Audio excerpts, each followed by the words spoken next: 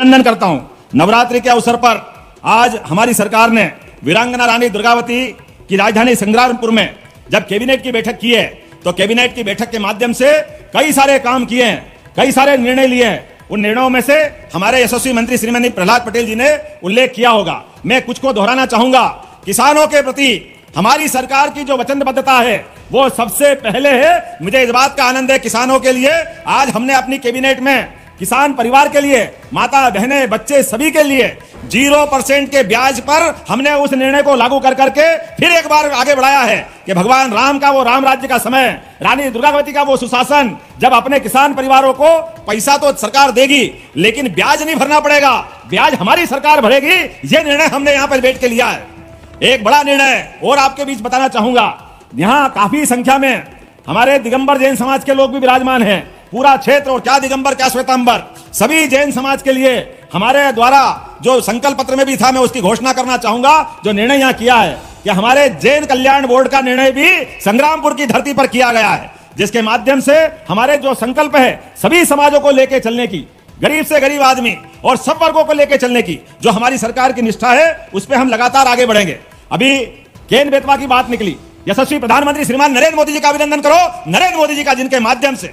कितनी बड़ी योजना है? केन बेतवा लिंक योजना। ये बुंदेलखंड की धरती, पूरा क्षेत्र पानी के माध्यम से कहाँ से कहाँ जा सकता था, लेकिन पूर्ववर्ती सभी सरकारों ने इस दिशा में कोई काम नहीं किया। बुंदेलखंड के लोग पानी के अभाव में अपने जीवन में कष्ट भले ही भोगते रहिए, लेकिन जीवन पानीदार जिया है। ज़रूरत पड़ी तो अपनी तलवार लेके मैदान संभाल करके देश के दुश्मनों का सर काट करके भारत माता के चरणों में चुटकी भर की देर नहीं की, ये हमारा अपना गौरवशाली इतिहास है। और कई आए और कई गए। पूरे देश के कई राज्यों में सबने तलवारें नीचे रख दी।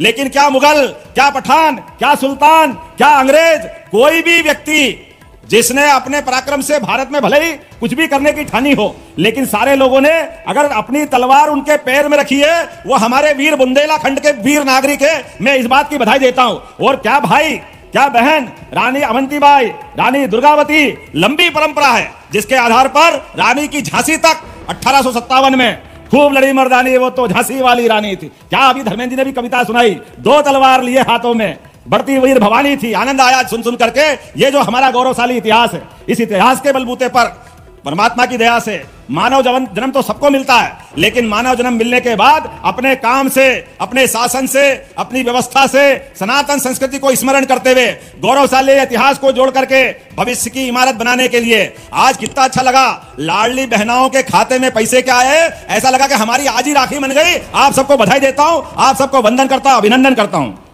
मैं जब यहाँ रानी दुर्गावती की बात कर रहा था तो हमने कहा कि यहाँ कार्यक्रम करेंगे तो लाडली बहनाओं के खाते में पैसे आना चाहिए। मुझे इस बात की प्रसन्नता है कि लाडली बहनाओं की संख्या भी, अकेले दमोह में भी कितनी बड़ी संख्या है।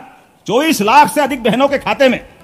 आज हमने 28 करोड़ की राशि तो उज्ज्वला गैस कनेक्शन की डाली है। जोरदार अभिनंदन करो 28 करोड़ रुपए की। हमारी विरोधी पार्टी के लोग कहते थे, उज्ज्वला गैस कनेक्शन की टंकी के पैसे नहीं दे रहे हो। आओ, हमारी ये सरकार देती जा रही है। आँखें हो तो देख लो। हमारी जो एक एक बात जो कही गई है एक एक बात को सही करते हुए, हर महीने साढ़े चार सौ रुपया प्रति गैस कनेक्शन टंकी के हिसाब से लाडली बहनाओं के खाते में हमारे द्वारा डाले जा रहे हैं। मुझे इस बात की प्रसन्नता है कि लगभग 2023 से 2024 तक 632 करोड़ 16 लाख की राशि जोरदार अभिनंदन करो, अकेले उज्ज्वला गैस कनेक्शन के माध्यम से। हमारी सरकार ने दी है। आज मुझे एक और बात बताना चाहिए। आपके बीच रखूँगा। कि 2024-25 में हमारी सरकार द्वारा अठारह करोड़ से ज़्यादा की राशि का लाडली बहनाओं के लिए प्रावधान किया, जोरदार अभिनंदन करो, साढ़े अठारह हज़ार करोड़ एक तरह से मानो तो।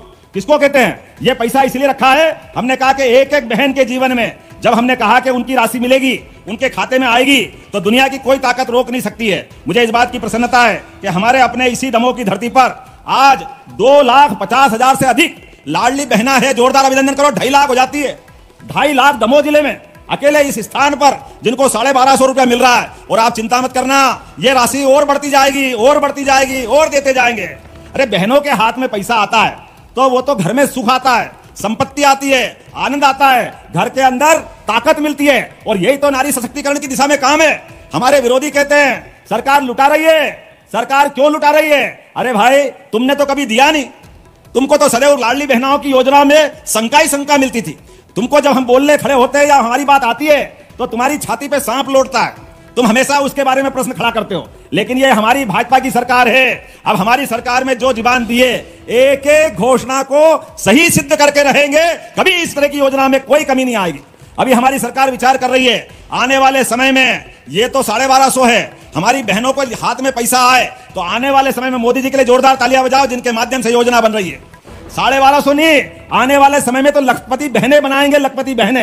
ये योजना हमारी आगे काम कर रही है। जीवन में जन्म तो परमात्मा देता है, लेकिन सरकार के माध्यम से जीवन में आने वाली छोटी मोटी परेशानियाँ को हल करके अपनी भावी पीढ़ी को अपने कदम से कदम मिला के लिए चलने के लिए प्रेरित करें। जिस बात के लिए हमारी सरकार सदैव संकल्पित है। आज एक और यहीं पर पचपन लाख पैंतालीस हज़ार से अधिक वृद्धजन कल्याणी, दिव्यांग हितग्राहियों के खाते में भी उनके महीने के, सितंबर महीने के 332 करोड़, इकहत्तर लाख की पेंशन भी डाली गई है। जोरदार अभिनंदन करो ऐसे सभी इस वर्ग के भाई बहनों के लिए।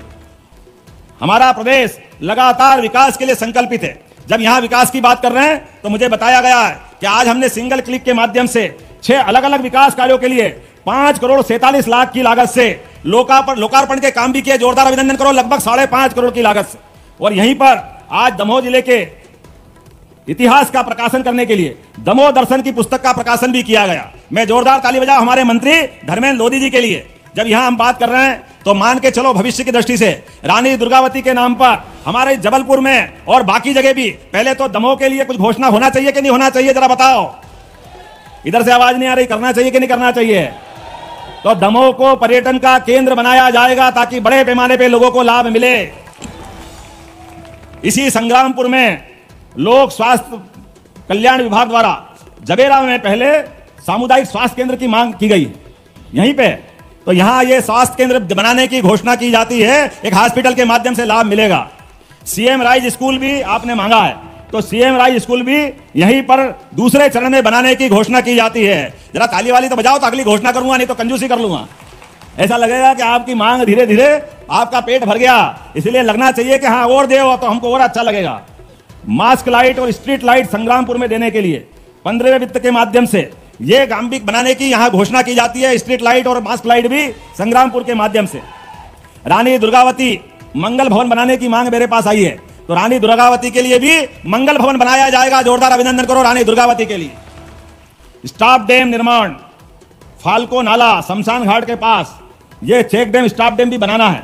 मैं घोषणा करता हूँ कि हमारे विभाग के द्वारा यह भी बनाया जाएगा दमों के विकास में, कोई भी कोर कसर बाकी नहीं छोड़ी जाएगी।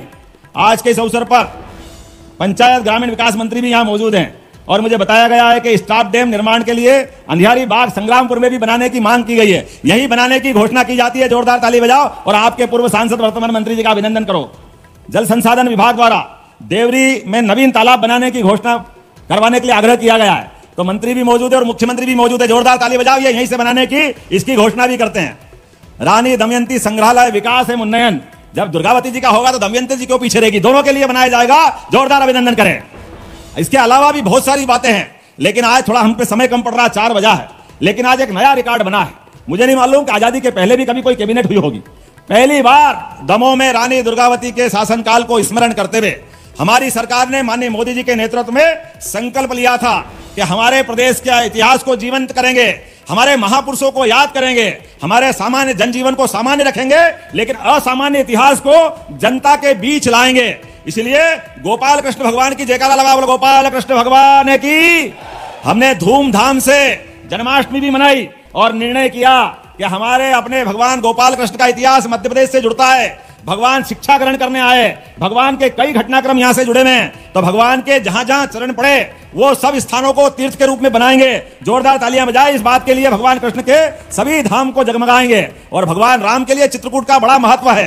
बोलिए, प्रभु रामचंद्र जी महाराज की, प्रभु राम ने भी जहाँ जहाँ चरण धरे, प्रत्येक स्थान को तीर्थ बनाने का काम हमारी सरकार के द्वारा किया जाएगा। यह निर्णय भी हमने किया है। नारी सशक्तिकरण को लेकर भी हमारी सरकार ने एक सप्ताह मनाने का निर्णय किया है। आज से लगा करके पूरे नवरात्रि तक बहन के लिए मार्शल आर्ट स्कूल में सिखाया जाएगा। ये कई प्रकार की दूसरे सेमिनार, कार्यक्रम, सभी प्रकार के कार्यक्रम करते हुए। नारी उत्थान और सशक्तिकरण की दिशा में हमारी सरकार लगातार काम करेगी। मैं आज के बाद भी दोबारा यहाँ आऊँगा। आज तो बहुत देर हुई है और आज जो आनंद आया है, ऐसा आनंद कभी आया नहीं, लेकिन आप सबका आभार मानता हूँ। हमारे बीच सभी बहनों के लिए, रोज़गार के लिए सागर में सबमिट की थी। मुझे इस बात की प्रसन्नता है कि यहाँ हटा के अंदर एक बड़ा कारखाना आएगा और बड़े छोटे सब मिला करके बड़ी संख्या में बुंदेलखंड में, अकेले सागर में तेईस हज़ार करोड़, किसको कहते हैं तेईस हज़ार करोड़? जोरदार ताली बजाओ, तेईस हज़ार करोड़ के निवेश आए। और लगभग इतने लोगों को रोज़गार के हर ज़िले के अंदर अलग अलग प्रकार के कारखाने आएँगे और उन कारखानों के माध्यम से पूरा बुंदेलखंड की धरती बदलेगी। और उतना ही नहीं, ये केन बेतवा के माध्यम से आप सबसे निवेदन करता हूँ, यहाँ किसान परिवार के काफ़ी लोग बैठे हैं। अपनी ज़मीन को बचा के चलना अपनी ज़मीन मत बेचना। मौका पड़े, पैसे की ज़रूरत हो, थोड़ा कर्जा ले लेना। किसी मकान को देना हो तो दे देना, लेकिन ज़मीन बचाना। आप ज़मीन बचाओगे, भविष्य में पंजाब हरियाणा को मात करेगा ये बुंदेलखंड और मध्य प्रदेश की धरती। पूरे क्षेत्र के अंदर, समूचा क्षेत्र, हमारे पूरे किसानों का जीवन अपनी आय से डबल होगा। उनकी फ़सलों की आमदनी और फ़सल के साथ साथ अब तो हमने गोपालन भी बढ़ावा दे रहे हैं। बोले, गौ माता की, तैतीस करोड़ देवी देवता का वास होता है गौ माता में।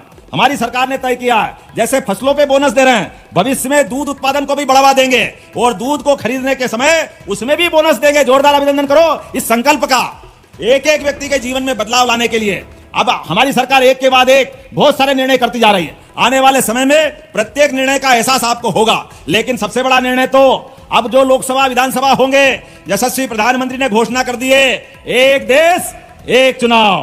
तो यहाँ माताएँ, बहनें बैठी है, जोरदार अभिनंदन करो अपने आप के लिए। भविष्य में भी